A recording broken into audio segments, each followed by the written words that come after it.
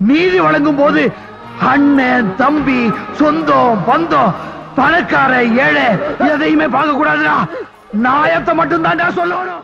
அனைவருக்கும் வணக்கம். திமுகவுடைய பேச்சாளர் சிவாஜி கிருஷ்ணமூர்த்தி மீது தேசிய மகளிர் ஆணையம் தாமாக முன்வந்து வழக்கு தொடுக்கும் என்று பாஜகவுடைய முக்கிய பொறுப்பாளர் தேசிய மகளிர் ஆணையத்துடைய உறுப்பினர் மரியாதைக்குரிய குஷ்பு அவர்கள் வந்து ஒரு பத்திரிகையாளர் சந்திப்பு கொடுத்திருந்தாங்க. அதில் அவங்க கண் கலங்கி பேசியிருந்தாங்க. எதற்காக குஷ்பு கண்கலங்கினாங்க? ஏன் சிவாஜி கிருஷ்ணன் மீது இந்த மகளிர் ஆணையம் தாமாக முன்வந்து வழக்கு தொடுக்கணும் அப்படின்னா கடந்த ஒரு மூணு மாதத்துக்கு முன்னாடி இந்த சிவாஜி கிருஷ்ணமூர்த்தி திராவிட முன்னேற்ற கழகத்திலிருந்து நீக்கப்பட்டார். அது நீக்கப்பட்டதுக்கான காரணம் அவர் வந்து ஆளுநர் ரவி அவர்கள் குறித்து மிக தரக்குறைவாக மிக மோசமான வார்த்தைகளை பதிவு செய்தார். அப்படி பதிவு செய்ததற்காக அவர் கட்சியில் நீக்கப்பட்டார். அவர் ஆளுநர் ரவியை மட்டும் தான் பேசியிருக்காரு அப்படின்னா இல்லை. ஆளுநர் ரவி அவர்களை பேசியிருக்காரு. மோடியை குறித்து மிக மோசமான வார்த்தையில் மிக தராதரமான வார்த்தைகளை பதிஞ்சிருக்காரு. விஜயகாந்துடைய மனைவி மரியாதைக்குரிய பிரேமலதா விஜயகாந்த் அவர்களை மிக கீழ்த்தரமாக பேசியிருக்காரு. சசிகலா அவர்கள் குறித்து மிக கேவலமாக பேசியிருக்காரு. அதே போல் தமிழ்நாட்டுடைய முன்னாள் முதலமைச்சர் அதிமுக முன்னாள் தலைவராக இருந்த மரியாதைக்குரிய ஜெயலலிதா அவர்கள் குறித்து மிக மோசமான வார்த்தைகளை தரக்குறைவான வார்த்தைகளை பதிஞ்சிருக்காரு. அதே போல் அவங்களை எது திமுகவை எதிர்க்கக்கூடிய திமுகவை யார் யாரெல்லாம் எதிர்க்கிறார்களோ அந்த அந்த எதிர்த்தரப்படக்கூடிய எல்லா பெண்களையும் மிக மட்டமான முறையில் பேசக்கூடிய ஒரு கேடுகட்ட நாளாந்திர ஆபாச பேச்சாளர் தான் இந்த சிவாஜி கிருஷ்ணமூர்த்தி. ஏற்கனவே திமுக அவர் மீது ஒழுங்கு நடவடிக்கை எடுத்து கட்சி விட்டு நீக்கியது. அதன் பிறகு அவர் மன்னிப்பு கேட்டார்னு சொல்லி கடந்த ஒரு பதினஞ்சு நாளைக்கு முன்னாடி கட்சியில் சேர்த்தாங்க. கட்சியில் சேர்த்து பதினஞ்சு நாள் கூட ஆகலை. இப்போ சமீபத்தில் கலைஞர் கருணாநிதி அவர்களுடைய பிறந்தநாள் பொதுக்கூட்டம் நடைபெறுது. அந்த பிறந்தநாள் பொதுக்கூட்டத்தில் பேசினவர் கலைஞருடைய சாதனையை பேசியிருக்கலாம். கலைஞர் வந்து தமிழ்நாட்டுக்கு அப்படி பண்ணார் இப்படி பண்ணாரு. அஞ்சு முறை முதலமைச்சராக இருந்தார் திமுகவை அப்படி கட்டமைச்சார். பேசி திமுகவை வளர்த்தாரு. பேசியிருக்கலாம் ஆனால் கலைஞரை பற்றி பேசுறதுக்கு அவர்கிட்ட எதுவுமே இல்லை போல இருக்குது ஏன்னா கலைஞரை பற்றி பேசினா வேறு ஏதாவது பேசணும். ஏன்னா இதே சிவாஜி கிருஷ்ணமூர்த்தி கலைஞரை பற்றி என்ன தெரியுமா பேசியிருக்காரு? கலைஞர் கருணாநிதி எங்கெங்கெல்லாமோ மூணு மூணு மனைவி வச்சிருக்காரு. அது இல்லாமல் கலைஞருக்கு வந்து பல பேர் அப்பான்னு சொல்கிறான் கலைஞருக்கு வந்து பல இடங்களில் வீடு இருந்திருக்கும் போல இருக்குன்னு சொல்லி கலைஞரையே திமுக மேடையிலே கலைஞரையே மிக கேவலமாக கீழ்த்தரமாக பேசக்கூடியவர் தான் இந்த சிவாஜி கிருஷ்ணமூர்த்தி. கலைஞருடைய பேனா எழுதின எழுத்து அப்படி இருக்கும்னா அதாவது கலைஞருடைய பேனா எழுதின எழுத்து அப்படி இருக்கும்னா கலைஞர் தன்னோட மைய வச்சு எழுதின பேனா தான் எங்கள் ஐயா ஸ்டாலின் அப்படின்னு சொல்லி கலைஞரையும் ஸ்டாலினையும் தனிப்பட்ட முறையில் கேவலமாக பேசக்கூடிய நபர் தான் சிவாஜி கிருஷ்ணமூர்த்தி. இவரே திமுக கூடாரம் கொண்டாட ரசிக்கும். அப்படிப்பட்ட சிவாஜி கிருஷ்ணமூர்த்தி என்கிற இந்த நாளாந்தர ஆபாச பேச்சாளர் குஷ்போவர் குறித்து இப்போ சமீபத்தில் பேசுகிற பேச்சு மிகப்பெரிய சர்ச்சைகளை உருவாக்குகிறது அதாவது பொது வாழ்க்கைக்கு வந்திருக்கிற ஒரு பெண்களை பொது வழியில் கூடிய பெண்களை தங்களை எதிர்க்கிறாங்க எதிர்க்கட்சியில் இருக்காங்க. பாஜக அழிக்கப்பட வேண்டிய கட்சியாக இருக்கலாம். பாஜகவின் கொள்கைகள் மீது நமக்கு ஆயிரம் முரண்கள் இருக்கலாம். பாஜகவுடைய தத்துவங்கள் நாட்டுக்கு எதிராக இருக்கலாம். ஆனால் பாஜகவில் இருப்பாங்க என்பதற்காகவே அந்த பெண்களை மிக கீழ்த்தரமாக பேசுவது மனநோய். அந்த மனநோய் தான் இந்த திமுக கூடாரத்துக்கு இருக்கிறது. அதைத்தான் சிவாஜி கிருஷ்ணமூர்த்தி எதிரொலிச்சுக்காரு. அதில் பேசுகிறாரு வார்த்தைகளை பதிவு செய்ய முடியாது. அவர் பேச நம்ம பார்த்துடலாம் நடிகையாக இருக்கிறதுல தப்பு இல்லை குஷ்பு மாதிரி இருந்துடக்கூடாது ஏன்னா இது குஷ்பு வந்து என்னோட பழைய அண்ணி. புரிஞ்சுச்சா புரியலையா? உடனே போய் பிரபுவை கேட்டுருங்க. வெடிகுண்டு மாதிரி கத்தி குஷ்புவே குஷ்புவே அது பழைய அண்ணிக்கா பழைய அண்டாவை ஏதோ எடுத்துன்னு போய் கலாய் பிடிச்சி அவனுங்க கூழ் காசி வச்சுங்கிறானுங்க. இப்படிப்பட்ட இந்த கேடுகட்ட கேவலமான மட்டமான பேச்சை திமுக இருக்கிற ஒருத்தர் கூட கண்டிக்கல. அதாவது கலைஞர் கருணாநிதி அவர்கள் குறித்து நான் பேசிட்டேன்னு சொல்லி என் மீது வழக்கு போட்டு அந்த வழக்கில் திருப்பி வந்து பெயில் கிடைக்காம ஆக்கி ஐம்பத்தி நாள் கழிச்சு பெயில் கொடுத்து திருப்பி அதுக்கு அந்த பி- பிணையை ரத்து பண்ணி கலைஞர் அசிங்கப்படுத்தியார் கலைஞர் அசிங்கப்படுத்தியார். நான் பேசியது என்ன? எவ்வளோ என்ன கேவலமாக கலைஞரை பேசிட்டேன்? தக்கலையில் ஐயா க- ஸ்டாலின் அவர்கள் என்ன நான் ஆபாசமாக பேசிட்டேன்? கேரளாவுக்கு என்னுடைய மலைகள் வெட்டுகிற போது கேரளாவிலேயும் மலைகள் இருக்குது தமிழ்நாட்டில் மலைகள் இருக்குது கேரளாவில் வெட்ட முடியல தமிழ்நாட்டை மட்டும் வெட்டானா கேரளாவை அந்த மண்ணையும் மக்களையும் உயிராக நேசிக்கிற தலைவன் ஆள்றான் அப்படிங்கிறத பாமர மொழியில் சொல்லிட்டேன். உடனே மு க ஸ்டாலின் அவர்களே அசிங்கப்படுத்தினாங்கன்னு சொல்லி என் மீது வழக்கு போட்டு ஐம்பத்தி மூணு நாட்கள் பாளையங்கோட்டை ஜெயிலில் சிறைப்படுத்தினாங்க. அப்போ மு க ஸ்டாலின் அவர்களை அசிங்கப்படுத்தி விட்டேன் என்று என் மீது வழக்கு போட்டவர்கள் ஏன் சிவாஜி கிருஷ்ணமூர்த்தியை கைது செய்யலை? நான் அப்படி ஒன்றும் தப்பாக பேசிடல ஒன்றும் ஆபாசமாக பேசிடல எந்த பெண்களையும் இழிவாக பேசிடல.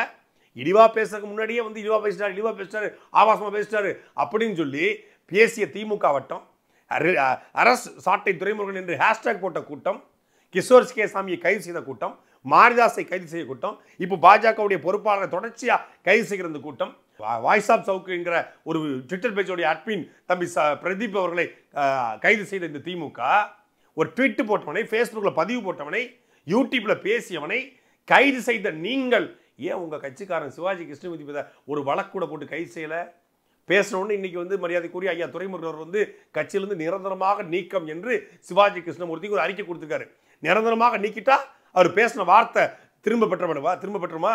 அவர் பேசின வார்த்தை தவறுன்னு ஆயிருமா? எத்தனை முறை அவர் பேசுவார்? எத்தனை முறை நீங்கள் வந்து அறிக்கை விடுவீங்க? எத்தனை முறை நீங்கள் செய்வீங்க? அப்ப நாங்கள்லாம் வந்து ஏதாவது ஒரு வார்த்தையை வாய் தவறி விட்டாலும் கூட அது உங்கள் கட்சிக்கு எதிரானது திமுகவுக்கு எதிரானது ஸ்டாலினுக்கு எதிரான என்று உள்நோக்கத்தோடு பேசுறது கிடையாது. ஒரு மலை கொலை போகுது கனிம வளம் கொள்ளையடிக்கப்படுது ஆட்சி மலம் கொள்ளையடிக்கப்படுது ஒரு மோசமான ஆட்சி நடைபெறுகிறது என்கிற ஒரு கோபத்தில் நம்ம பேசினா அதை வன்முறையாக கட்டமைக்கிற அதை ஒன் டுவெண்ட்டி ஃபோர் ஏவாக மாற்றுகிற அதில் ஒன் ஃபிஃப்டி த்ரீ ஏ போட்டு இரு இனங்களுக்கு பிரிவினை தூண்டுவது போல பேசுகிறார் என்று கட்டம் கட்டி மாசத்துல பதினோரு நாள் வாய்தாவுக்கு அலைய விடுகிற இந்த திமுக சிவாஜி கிருஷ்ணமூர்த்தியை சோறு போட்டு வளர்க்குறாங்க. மரியாதைக்குரிய குஷ்பர் என்ன சொல்கிறாங்கன்னா இதை வந்து ஸ்டாலின் வளர்த்து விடுறாரு. கலைஞர் கருணாநிதி அவர்கள் இருக்கும்போது இருந்த திராவிட முன்னேற்ற கழகம் இது கிடையாது. இப்போ டிராவிடியன் மாடல் என்று அழைக்கப்படுகிற இந்த திமுக ஸ்டாலின் திமுக ஸ்டாலின் இவர்களை தீனி போட்டு வளர்க்குறாரு என்று குஷ்போர்கள் வந்து சிவாஜி கிருஷ்ணமூர்த்தி மீது குற்றம் சாட்டுறாங்க. நான் சும்மா விட மாட்டேன் எப்போதும் போல நீங்கள் பேசிக்கிட்டு போக முடியாது. குஷ்புவை சீண்டுனா நீங்கள் நிம்மதியாக இருக்க முடியாது. திமுகவை நான் சும்மா விடமாட்டேன் என்று குஷ்பு அவர்கள் மிகப்பெரிய எச்சரிக்கையும் ஒரு கண்டனத்தையும் திமுகவுக்கு பதிவு பண்ணியிருக்காங்க. சரி திமுக சிவாஜி கிருஷ்ணமூர்த்தி மட்டும் தான் பேசுறாரா? திமுக கூடிய சைதை சாதிக்கு மட்டும் தான் பேசுறாரா? திமுக கூடிய திராவிட பிரசன்னா மட்டும் தான் பேசுறாரா? திமுக ராஜீவ்காந்தி மட்டும் தான் ஆபாசமா பேசுறாரா? திமுக ஆராசம் மட்டும் தான் இப்படி பேசுறாரா? திமுகவுடைய முன்னாள் தலைவர் கருணாநிதியும் இது ஆபாசமாக பேசியிருக்காரு. திமுகவுடைய இன்னாள் தலைவர் ஸ்டாலின் அவர்களும் பேசியிருக்காங்க. திமுகவுடைய இளைஞரணி செல்ல விளையாட்டுத்துறை அமைச்சர் மரியாதைக்குரிய அண்ணன் உதயநிதி அவர்களும் இந்த ஆபாசமாக பேசியிருக்காங்க. உதயநிதி தேர்தல் பிரச்சாரத்தில் எடப்பாடி பழனிசாமி மீது ஆயிரம் விமர்சனம் உண்டு. அவர் ஆட்சி மீது விமர்சனம் உண்டு. அவருடைய கொள்கை கோட்பாட்டின் மீது விமர்சனம் உண்டு. பாஜகவுக்கு ஒரு சொம்படிக்கிறாரு சொல்லிட்டு போங்க. பாஜகவுக்கு அடிமையாக இருக்கிறத சொல்லிட்டு போங்க. இந்த பாதம் தாங்கி பழனிசாமின்னு சொல்றீங்களே சொல்லிட்டு போங்க. அடிமை பாஜக எடப்பாடி பழனிசாமின்னு சொல்லிட்டு போங்க. ஆனா ஒரு பொண்ணோட காலில் விழுந்தா வந்து அவர் வந்து முதலமைச்சர் ஆனார். விட்டால் காலுக்குள்ளே போயிருப்பாரு. இது எந்த மாதிரியான வார்த்தை? இது எவ்வளவு இழிவான வார்த்தை? எவ்வளவு கேவலமான வார்த்தை? இதை ஒரு கூட்டம் கொண்டாடி கைத்தட்டி ரசித்தது. அந்த பெண்ணும் தமிழ்நாட்டை சார்ந்த பெண் தான். மரியாதைக்குரிய சசிகலா அவர்கள். அவங்க ஒன்றும் வேற வெளிநாட்டு பெண்ணு கிடையாது.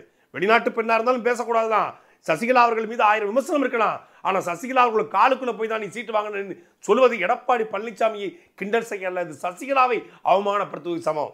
அதை பேசிய போது கொண்டாடிய கூட்டம் இது திமுக கூட்டம். ஐயா ஸ்டாலின் அவர்கள் நான் ஒரு அப்பனுக்கு பிறந்திருந்தா என்னை கைது பண்ணி பாருங்க என்று பேசியிருக்காரு. எவ்வளவு மோசமான வார்த்தைகளை இவர்களே அண்ணனும் நோக்கினால் அவளும் நோக்கினால் அப்படிங்கிற போல ஜெயலலிதாவை கிண்டல் பண்ணி பேசியிருக்காங்க. எவ்வளவு மோசமான வார்த்தைகள். இதோட இதே செந்தில் பாலாஜியை பற்றி பேசும்போது செந்தில் பாலாஜி இளவரசிக்கு நெருக்கமானவர். சசிகலாவுக்கு ரொம்ப நெருக்கமானவர் இளவரசிக்கு ரொம்ப ரொம்ப நெருக்கமானவர். இது இல்லை இருந்தது? இதை பேசியவர் ஐயா ஸ்டாலின் அவர்கள். செந்தில் பாலாஜி இளவரசிக்கு ரொம்ப ரொம்ப நெருக்கமானவர் என்ற வார்த்தை ஒரு பொது மேடையில் திமுகவுடைய இன்னைய முதலமைச்சர் பேசிய வார்த்தை. இது திமுகவுடைய லட்சோப லட்ச தொண்டர்கள் அன்னைக்கு கைத்தொட்டி ரசிச்சாங்க. அப்போ அந்த ஆபாசத்தை நீங்கள் விதைத்தது. சிவாஜி கிருஷ்ணமூர்த்தி இப்படி பேசுவதற்கு குஷ்புவை இழிவாக பேசுவதற்கு விதையப்பட்டது யாரு? ஐயா ஸ்டாலின் அண்ணன் உதயநிதி. அவங்க மட்டும்தானா? பத்திரிகையாளர் சந்திப்பில் ஐயா ஸ்ட- கருணாநிதி பேசுகிறாரு முன்னாடியெல்லாம் ரஷ்யாவுக்கு வந்து எரும மாட்டு தோலை அனுப்புவாங்க. இப்போ எரும மாட்டை அனுப்பியிருக்காங்கன்னு சொல்லி காமராஜர் அவர்கள் ரஷ்யாவுக்கு அரசு முறை பயணமாக போனது. எப்படி ஐயா ஸ்டாலின் சிங்கப்பூருக்கும் ஜப்பானுக்கும் போனாரோ அப்படி ரஷ்யாவுக்கு அரசு முறை பயணமாக போன அன்றைய முதலமைச்சராக இருந்த ஐயா காமராஜர் அவர்களை ரஷ்யாவுக்கு எரும மாட்டு தோல் அனுப்புவாங்க. எரும மாடே போயிருக்கு என்று தனி மனித விமர்சனம் செய்தவர் தான் கலைஞர் கருணாநிதி. தனி மனித விமர்சனத்தை ஆண்களை மட்டும் பண்ணாங்களா? காமராஜரோட படத்தை போட்டு அவருக்கு பெண் உருவமிட்டு ஒரு திருநங்கை கூட அவர் சிந்தரித்து அவ்வளவு ஆபாசமாக அதாவது இந்த இந்த இதே சிவாஜி கிருஷ்ணமூர்த்தி இந்த பேச்சில் சொல்கிறாரு அவன் எட்டாம் இருக்க மாட்டான் உம் அந்த பக்கம் நிற்க மாட்டான் இந்த பக்கம் நிற்க மாட்டான் நடுவில் நிற்பான் இது என்னது எந்த- இது என்ன வருகிறது ஜெயக்குமாரை பற்றி சொல்கிறாரு அவன் அப்படி நிற்க மாட்டான் இப்படி நிற்கப்பான் இங்கே நிற்பான் அதை அற திருநங்கைகளை அரவாணிகளை அசிங்கப்படுத்துவது போல பேசுகிறாரு திருநங்கைகளுக்கு நாங்கள் தான் திருநங்கை என்று பெயரிட்டோம். அரவாணி என்பதோ அவங்களை வந்து அலி என்று அழைப்பதோ தவறான சொல். அப்படி சொல்லக்கூடாது என்று திருநங்கை என்று நாங்கள் அழைக்க வேண்டும் என்று கலைஞர் கருணாநிதி தான் அரசாணை வெளியிட்டார் என்று பேசுறீங்க. சரி வாழ்த்துக்குரியது மகிழ்ச்சி. வரவேற்கத்தக்கது. திருநங்கை என்று நீங்கள் அழைக்க சொல்லிவிட்டு உங்கள் மேடைகளில் அரவாணி என்றும் அசிங்கமான வார்த்தைகளை சொல்லியும் அவர்களை இழிவுபடுத்துவது போல தெய்வத்தினுடைய குழந்தைகளாக இருக்கக்கூடிய திருநங்கைகளை இழிவுபடுத்துவது போல சொல்லாடல்களை சிவாஜி கிருஷ்ணமூர்த்தி பேசுகிறார் இது கட்சி விட்டு நீக்கினா மட்டும் சரியா?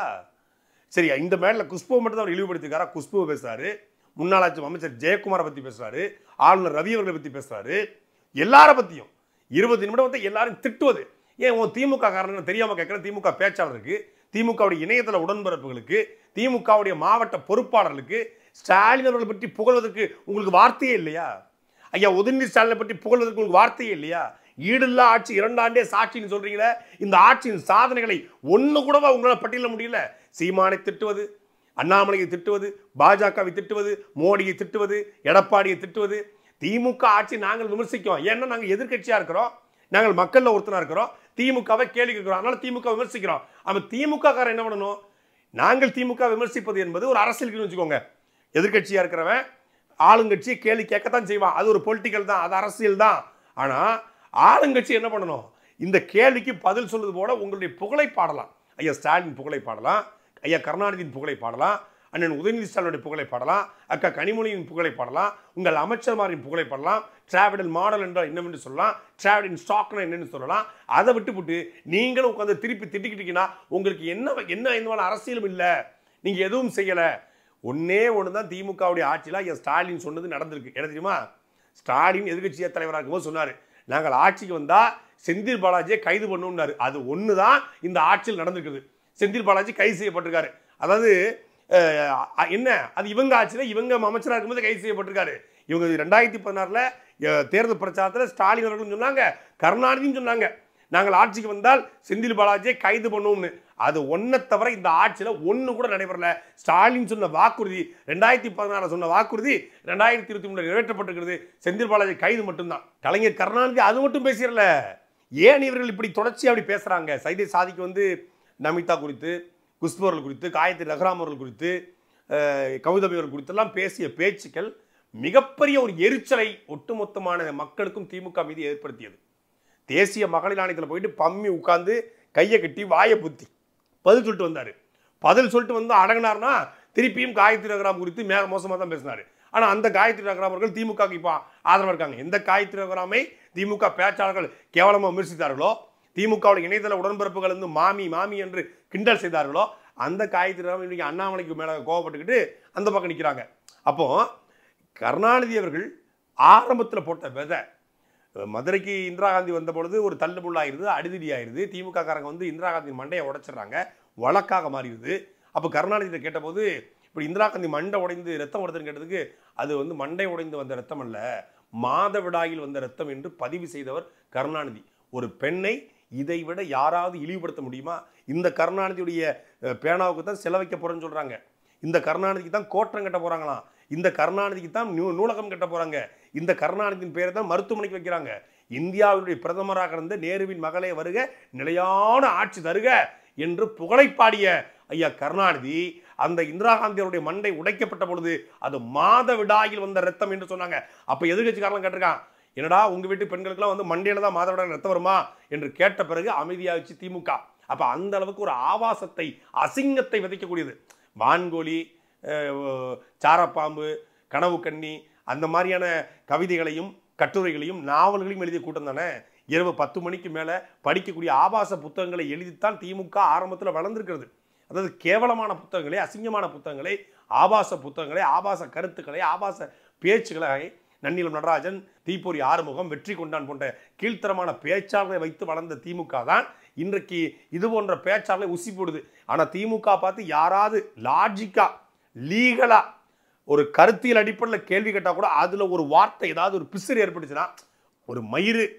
மயிருங்கிறது தவறான சொல்லு கிடையாது. மயிருங்கிறது அழகான சொல்லு தான் அந்த மயிறு வந்து ஒரு புனிதமான சொல்லு தான் அது உடம்புல இருக்கக்கூடிய ஒரு ஒரு முக்கியமான பொருள் தான் ஆனால் அந்த மயிருன்னு சொல்லா கூட அதை வைத்து வழக்கு போடுகிற திமுக இவ்வளவு மட்டமாக ஒரு பெண்ணை பொதுவழியில் போராடக்கூடிய ஒரு பெண்ணை குஷ்பு அவர்களை அவ்வளவு அசிங்கமாக பேசியிருக்கிறது வழக்கு பதிவு செய்து கைது செய்ய திமுக மறுக்கிறது. இது மற்ற நேரங்களைப் போல கடந்து போக முடியாது. சிவாஜி கிருஷ்ணமூர்த்தி குஷ்பு அவர்கள் குறித்து பேசிய பேச்சுகள் வந்து வன்மையாக கண்டிக்கத்தக்கது.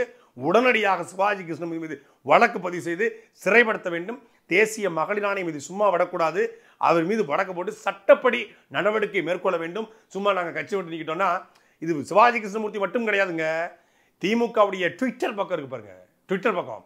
எடுத்து பார்த்தா அவ்வளவு ஆபாசம். நம்ம நம்ம வந்து ஒரு நியாயமான கேள்வியை கேட்குறோம். செந்தில் பாலாஜி எப்படிடா வந்து இத்தனை கோடியில் சம்பாதிச்சாரு? இவ்வளோ ஊழல் பண்ணாரு? அவர் வந்து ரெண்டாயிரத்தி பதினஞ்சில் செஞ்ச ஊழல் நடிப்பில் கைது செய்யப்பட்டிருக்காரு அப்படின்னு பேசினா அதுக்கு இவர்கள் நேரடியாக பதில் சொல்லாமல் செந்தில் பாலாஜி நல்லவர் என்றோ செந்தில் பாலாஜி வல்லவர் என்றோ செந்தில் பாலாஜி நேர்மையானவர் என்றோ ஊழல் செய்யாதவர் என்றோ லஞ்சம் வாங்காதவர் என்றோ சொல்ல கிடையாது உங்கள் வீட்டு நம்ம வீட்டு பெண்களை பற்றி பேசுவது நம்ம மனைவியை பற்றி பேசுவது குழந்தைகளை பற்றி பேசுவது அம்மாவை பற்றி பேசுவது அக்காவை பற்றி பேசுவது குடும்பத்தை மட்டும் தான் பேசுவான். நம்ம கேள்வி கேட்பது செந்தில் பாலாஜி லஞ்சம் வாங்கினாரா இல்லையா? ஸ்டாலினே சொல்லியிருக்காரு. நீ கெட்ட கேட்டுக்கு உனக்கு முதலமைச்சர் வேற கேட்குதோன்னு செந்தில் பாலாஜி பற்றி கேட்டுக்காரு. அதாவது ஜெயலலிதா அவர்கள் சிறைக்கு போகும்போது அந்த பட்டியலில் செந்தில் பாலாஜி பேர் இருந்துச்சான் நீ இவர் கெட்ட கேடுக்கு இவர் பேர் முதலமைச்சர் பட்டியலில் இருந்துக்குங்க அப்படின்னு பேசியவர் தான் ஐயா மரியாதைக்குரிய ஐயா ஸ்டாலின் அவர்கள். அப்போது அந்தளவுக்கு நீங்கள் பேசியதை திருப்பி நாங்கள் கேள்வி கேட்டால் நம்மளை ஆபாசமாக பேசுறது. நம்ம உடம்பு நம்ம ஒரு ஒரு அஃபிடேவிட்டில் சிறையில் இருக்கும்போது யூரினரி இன்ஃபெக்ஷன் அந்த அஃபிடேவிட்டை போட்டிருக்கு. அதனால் எனக்கு பெயில் கொடுக்கல. 57 நாள் ஆயிடுது ஐம்பத்தி நாளுக்கு அப்புறம் தான் பெயில் தரான். என்னமோ அஞ்சாவது நாள் பெயில் கொடுத்த மாதிரி. 57 நாள் கழித்து பிணை வாங்கினதுக்கு அதில் என் மனைவி தரப்புலேருந்து சொல்கிறாங்க அவருக்கு சிறையில் இருக்கும்போது உடல்நல கோளாறு ஏற்பட்டிருக்கு. எனக்கு உடல்நல கோளாறு ஏற்பட்ட யார்கிட்ட சொல்லணும்? ஒன்று சூப்பர்கிட்ட சொல்லணும். இல்லை டிஎஸ்டி சொல்லணும் இல்லை கோர்ட்டில் சொல்லணும். கோர்ட் தான் உள்ளே வச்சுக்குது. அப்போ கோர்ட்டில் நான் சொல்லலை. என் மனைவி சொல்கிறாங்க அவங்க ஒரு அஃபிடேட் போட்டு வைக்கணும்னு சொல்கிறாங்க யூரினரி இன்ஃபெக்ஷன் ஏற்பட்டிருக்கு அப்படின்னு. அப்போ அதுக்கு ட்ரீட்மெண்ட் எடுக்கணும். ட்ரீட்மெண்ட் எடுக்கணும்னா ஒன்று மருத்துவமனைக்கு போகணும். மருத்துவமனைக்கு விட மாட்டான் சிறை மருத்துவமனையிலே பாருன்றான். நம்ம என்ன செந்தில் பாலாஜியா? அரசு மருத்துவமனை தனியார் மருத்துவமனை கொண்டு போய் பார்க்கறதுக்கு அங்கே மருத்துவமனைக்கு போகணும் அப்போ மருத்துவமனைக்கு விடலன்னா நீ பிணை கொடுன்னு கேட்குறோம் ஒன்று அரசு மருத்துவமனைக்கு வெளியே அனுப்பு இல்லை பிணை கொடுன்னு கேட்குறோம் அப்போ பிணை கொடு கொடுக்குறாங்க. ஐம்பத்தேழு நாள் கழிச்சு. உடனே இவருக்கு வந்து இன்ஃபெக்ஷன் ஆயிடுச்சு அது போயிடுச்சு இது போயிடுச்சு அப்படின்னு இன்னைக்கு வரைக்கும் ஒரு இன்ஃபெக்ஷன் வந்ததை கிண்டல் பண்ணி கேலி பண்ணுகிற கேடுகட்ட கூட்டம் தான் இந்த திராவிட கூட்டம். அவ்வளவு ஆபாசமா அவ்வளவு அசிங்கமா. இதுக்கு வந்து சமூக வலைதளத்தில் எல்லாரும் கணக்கு தொடங்கணுமா? ஐயா ஸ்டாலின் சொல்கிறாங்க திமுகவில் வந்து சமூக வலைதள கணக்கு இல்லாதவர்கள் உடனடியாக கணக்கை தொடங்கணும் எதுக்கு? அடுத்தவனை கேலி பண்ணுறதுக்கு கிண்டல் பண்ணுறதுக்கு அசிங்கப்படுத்துறதுக்கு ஆபாசமாக பேசுவதற்கு. அடுத்தவனை கேவலமாக படுத்துவதற்கு தான் நீங்கள் கணக்கு தொடங்க சொல்கிறீங்களா உங்கள் கட்சியில் இருக்கிற ட்விட்டர் பக்கத்தில் நீங்கள் முதல்ல பாருங்கள் உங்கள் டி டி திமுகவுடைய ஐடி விங் இருக்கு பாருங்க. ஆபாச விங் அது ஐடி விங் அல்ல அது ஆபாச விங் யாராவது அதிமுகவிலையோ இல்லை பாஜகவிலையோ நாம் தமிழர்லையோ யாராவது ஒருத்தர் உங்களை கேள்வி கேட்டால் அவ்வளவு அசிங்கமாக இதே மக்கள் நீதி மையத்தில் இருக்கும்போது மரியாதைக்குரிய பத்மபிரியா அவர்களை திமுக ஐடிவிங்கும் திமுக கட்சிக்காரனும் பேசாத பேச்சு கிடையாது. இன்னைக்கு மக்கள் நீதி மையத்திலிருந்து விலகி அவங்க திமுக போனோடனே வாயை பிடிக்கிட்டு கொண்டாடிக்கிட்டு இருக்காங்க. பத்மபிரியா அவ்வளோ ஆபாசமாக பேசுனாங்க அவ்வளோ அசிங்கமாக பேசுனாங்க. எந்த பெண்ணும் பொது வழியில் திமுக ஏற்று கேள்விக்கூடாது ஒன்று திமுக இருக்கணும் அவங்க கூட இருக்கணும். அவங்களை ஏத்துனா அசிங்கப்படுத்துவோம் ஆபாசப்படுத்துவோம் கேவலப்படுத்துவோம். அதுதான் திமுகவுடைய கொள்கை. கடமை கண்ணியம் கட்டுப்பாடு அண்ணா சொன்னார். அது சுத்தமாக திமுகவில் இல்லை அதை தயவு செய்து இனிமேல் மேடையில் பேசாதீங்கள். இந்த சிவாஜி கிருஷ்ணமூர்த்தியை கைது செய்ய வேண்டும். கைது செய்து தக்க தண்டனை கொடுக்க வேண்டும். சாட்டை எடுத்து நாட்டை திருத்து. இளம் தலைமுறை தானே நீ வழி